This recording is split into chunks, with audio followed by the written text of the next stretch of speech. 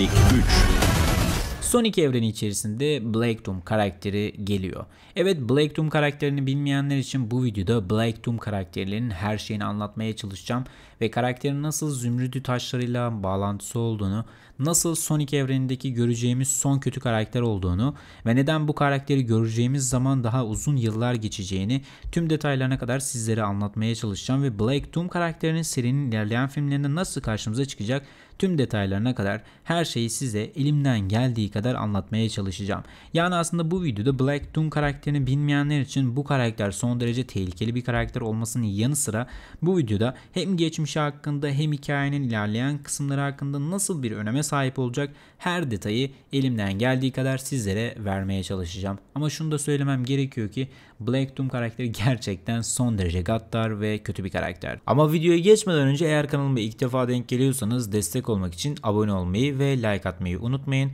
Bu arada aboneliklerimiz açıldı. Şu anda da yeni abonelerimiz gelmeye devam ediyor. Bu da tabii ki kanalımıza aktif olarak üye olan insanlar. Unutmayın arkadaşlar kanalımıza üye olursanız Ejderhanı Nasıl Eğitirsin 2025 yılında vizyona girdiğinde hep beraber İstanbul'da buluşacağız ve filmi izleyeceğiz. O yüzden siz de kanalımız içerisine katılmayı unutmayın. Katılmak istiyorsanız da detaylı bir şekilde sizlere bilgi veriyorum. Ben Berk. İyi seyirler.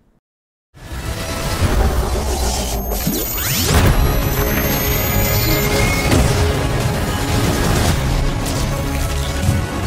Sonic 3 Black Doom karakteri aslına baktığımız zaman diğer tipik kötü karakterlerden pek de bir farkı yok. Karakter olarak özellikle de Marvel evrenindeki Thanos'a çok fazla benzediğini söyleyebilirim. Ama karakterin sadece benzerliği yani fiziksel bir şey değil sadece amaçları doğrultusunda. Kendisi bildiğiniz gibi Sonic evrenindeki Thanos karakter ve bununla beraber zümrüt taşlarını ele geçirip hani tüm evreni kontrol etmek gibi her klişe kötü karakterin olduğu gibi böyle bir nihai amacı var. Kendisinin elçisi de var aynı zamanda Shadow diyebiliriz. Shadow zaten bildiğiniz gibi Doktor Eggman'ın büyük babası olan Geralt Robotnik tarafından ortaya çıkartılan bir projeydi. Shadow karakteri ortaya çıktığı zaman Black Doom özellikle oyunlarda istilasını başlattığı süre zarfında yaratıklarını dünyaya salmıştı ve Shadow da onun elçisi olarak görev yapıyordu. Dediğim gibi oyun hikayelerinde eğer bunları işleselerdi film evreninde şu anda çok iyi filmlerde izleyebilirdik ama Paramount Pictures bu hikayeleri daha sonraki kısımlara saklıyor. Nasıl ki ilk filmde sadece Dr. Eggman vs. Sonic, ikinci filmde Dr. Eggman Knuckles'la beraber vs. Sonic, şimdi üçüncü filmde ise Dr. Eggman'ın büyük babası yani Robotnik'in, Geralt Robotnik'in Shadow'u var etmesiyle beraber Black Doom hikayesine yavaş yavaş ilerlediğimizi gösteriyorlar. Burada ortada olan şey şu ki arkadaşlar Black Doom kolay kolay gelebilecek bir karakter değil. Serinin dördüncü filmde muhtemelen bir Silver karakterini göreceğiz. Yan kötü olarak Metal Sonic'i göreceğiz. Ve daha bunun 5 6 filmi daha duruyor. Yani 5. ve 6. filmde muhtemelen Mephiles gibi bir kötü karakter ortaya çıkacaklar veya Infinity gibi ikinci bir kötü karakter ortaya çıkartacaklar ve bununla beraber 5 ve 6. filmde de Sonic evreni hikayesi tamamlandıktan sonra 7 ve 8. filmde yani tıpkı Harry Potter film serisinde olduğu gibi Black Doom hikayesine geçiş yapacaklar. Black Doom hikayesine geçiş yapıldıktan sonra zaten karakterin tüm geçmişi de bizlere anlatılacak ve o zamana kadar zaten Sonic'in geçmişi, Knuckles'ın Knuckles'ın kabilesi, Shadow'un flashbackleri, diğer karakterlerin geçmişini 6 filmde zaten kolay bir şekilde işleyebilecekler ve artık tek yapmaları gereken Black Doom hikayesine geçiş yapmak. Oyunlarda aslında Sonic lore olarak geçen hikaye içerisinde Black Doom karakteri gerçekten son derece güçlü ve zümrüt taşlarını ele geçirdikten sonra evreni yok etmek isteyen nihai bir amaca sahip kötü karakterdi. Zaten Sonic'in en güçlü ve ebedi düşman olmasının temel sebebi de bu. Ve hikayenin son kısımlarında arkadaşlar zümrüt taşlarını ele geçiren bu karakterimiz toplamda yanlışım yoksa tüm zümrüt taşlarını ele geçiriyor ve bununla beraber tüm gücüne de erişiyor ve zaten o yüzden de tüm karakterler bir araya gelmek zorunda zorunda kalıyor. Black Doom'un toplamda ele geçirdiği taşlara bakarsak 7 tane taşı ele geçiriyor ve hatta bundan dolayı gücü inanılmaz fazla seviyelere eriştiği için Doktor Eggman bile bizim karakterlerimizin yanında yer almak zorunda kalıyor. Yani aslında Shadow, Silver, diğer tüm karakterler muhtemelen bu filmler içerisinde Black Doom'a karşı savaş verecek.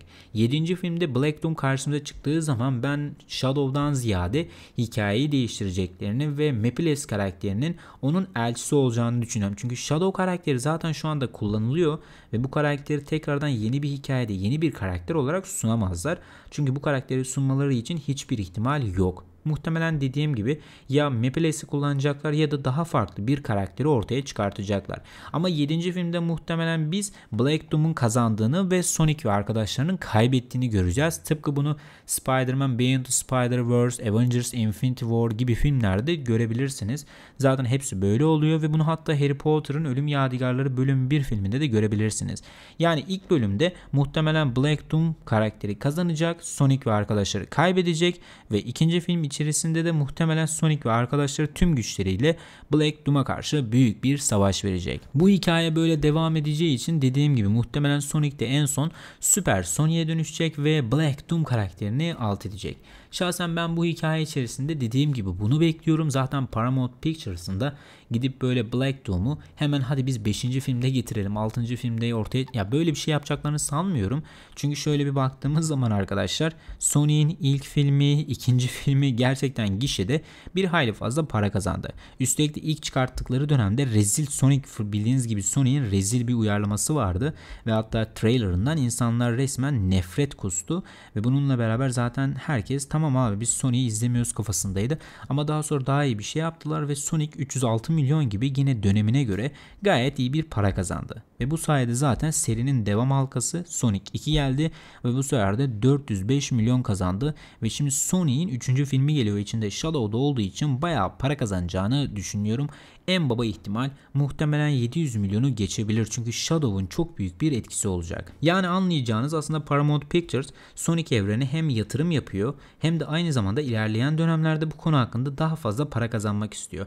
Ve eğer bu stratejiyi ilerleteceklerse dediğim gibi spin-off diziler, yan hikayeler ve benzeri şeylerle Sonic'ten bayağı para kazanacaklar. Evet arkadaşlar bugün Black Doom hakkında elimden geldiği kadar sizlere bilgi vermeye çalıştım. Karakterin geçmişi ve benzeri şeyleri hikaye içerisinde nasıl görünecek tüm detaylarına kadar anlatmaya çalıştığım için hiç kimse bu karakter hakkında bilgi sahibi değilken artık birçok insan bilgi sahibi olduğunu düşünüyorum. Kısacası Black Doom'u yakında izleyeceğiz ama bunun ne zaman olacağını şu anlık bilmiyorum.